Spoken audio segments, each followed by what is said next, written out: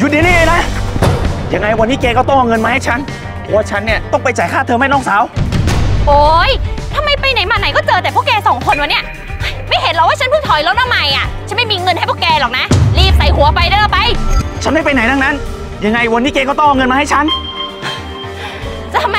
จะทำร้ายฉันกันเหรอ งั้นก็มาสิมาตีฉันเลยสิ นี่แก เออพี่โจ๊กพอเถอะค่ะฉันว่าอย่าลงไม้ลงมือกันเลยนะคะ ค่อยๆคุยกันดีกว่า สุดท้ายก็ไม่กล้าทำมาเป็นขู่ ช่วยดูสภาพของตัวเองด้วยนะ สภาพแบบนี้เนี่ยนะจะมาทวงเงินจากฉันอะต่อให้มาเป็นร้อยเป็นพันคนฉันก็ไม่กลัวหรอกเว้ย นี่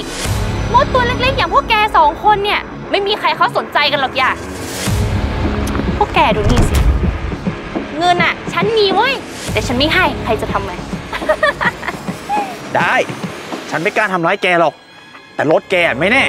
อย่านะพี่โจ๊กโอ้ ยนี่พวกแกเล่นละครลิงกันอยู่หรือไงเนี่ยฮะ ใจกล้ากันหน่อยดิ นู่นก็ไม่กล้า นี่ก็ไม่กล้า ไม่กล้าอะไรสักอย่าง นี่ ถ้าฉันมีพี่ชายที่เก่งแต่ปากแบบเนี้ย ฉันหาถุงดำมาคุมหัวแล้วอย่าพี่โจ๊กฉันว่าช่างมันเถอะ ฉันไม่เรียนต่อแล้วก็ได้ นี่ ฉันจะบอกอะไรพวกแกให้นะ สภาพอย่างพวกแกเนี่ย ไม่ต้องอยู่หรอกในเมืองอะ่ะ เก็บข้าวของกลับไปอยู่บ้านนอกเหมือนเดิมนั่นไป เพราะว่าแถวนี้อะ มันไม่มีที่ยืนสำหรับคนอย่างพวกแกหรอกนะ โอ๊ย นี่แกเป็นใครเนี่ยมาตบฉันทำไม โอ๊ย โอ๊ย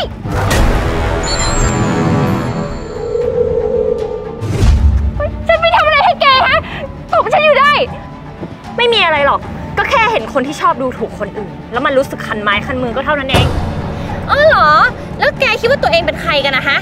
นี่ ฉันจะบอกอะไรให้นะ ข้างหลังนี่คือโรงงานของฉันเอง ในนั้นอะ มีพนักงานของฉันเป็นร้อยร้อยคนเลยอะแค่ฉันยกหูโทรกิ้งเดียวอะพวกเขาก็พร้อมที่จะออกมาจัดการแบบพวกแกทุกคนนั่นแหละ มีแค่หลักร้อยทำเป็นมาพูด โรงงานฉันมีเป็นพันอย่าแล้วรู้อะไรไหมโรงงานฉันมีพนักงานเป็นพันคน แต่ฉันไม่เคยโกงเงินเดือนพนักงานฉันเลยสักคน คนแบบเธออะฉันเห็นมาเยอะละนิสัยชอบดูถูกเอาเปรียบคนอื่นเนี่ยสุดท้ายอะก็จะไม่เหลืออะไรเลยสักอย่าง เออ ฝากไว้ก่อนเถอะ เดี๋ยวก่อน เขาค้างจ่ายเงินเดือนพวกคุณอยู่เท่าไหร่เหรอคะ เอ่อห้าหมื่นบาทครับ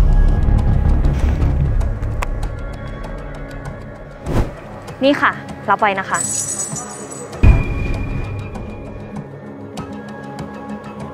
ขอบคุณคุณมากเลยนะครับ ถ้าไม่ได้คุณช่วยอะ ชาติเนี่ยผมก็คงไม่ได้เงินเดือนก้อนนี้ เพราะถ้าเกิดว่าผมไม่มีเงินเดือนก้อนเนี้ยครอบครัวผมต้องลำบากมากแน่ๆเลยครับ ไม่เป็นไรหรอกค่ะ คนแบบเนี้ยก็ดีแต่เก่งกับคนที่อ่อนแอกว่า เพราะมีคนแบบนี้บนโลกไงคะโลกถึงได้หน่าอยู่น้อยลงอะนี่เป็นถึงเจ้าคนนายคนอะก็อย่าเอาเปรียบพนักงานให้มันมากนักสิเขาเองก็จำเป็นต้องกินต้องใช้ แล้วไหนจะครอบครัวเขาอีก ลองคิดดูนะ ถ้าไม่มีพวกเขาทำงานให้อะ เธอจะมีอย่างทุกวันนี้ได้หรอ ปากดีไปเถอะอย่าคอยดูเถอะสักวันได้เห็นดีกันแน่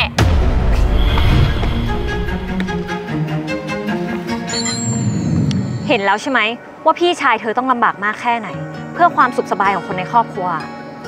เพราะฉะนั้นเนี่ยเธอเองก็ต้องตั้งใจเรียน จบมาจะได้มีงานดีๆทำและเธอจะได้ตอบแทนคนที่อยู่เบื้องหลังความสำเร็จของเธอ ค่ะ ฉันจะตั้งใจเรียนแล้วก็หางานดีๆทำพี่ชายฉันจะได้ไม่ต้องเหนื่อยแบบนี้อีก ขอบคุณพี่มากเลยนะคะ